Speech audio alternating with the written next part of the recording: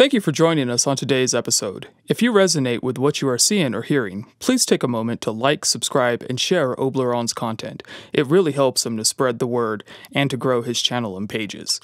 Collective readings are posted Mondays on the High Priestess's Circle. Teachings are posted Wednesdays on the Magister's Sanctum, and the music from those episodes are posted Fridays on the Empress's Theater. Posters and merch related to Oblyron's teachings are available at oblyron.square.site.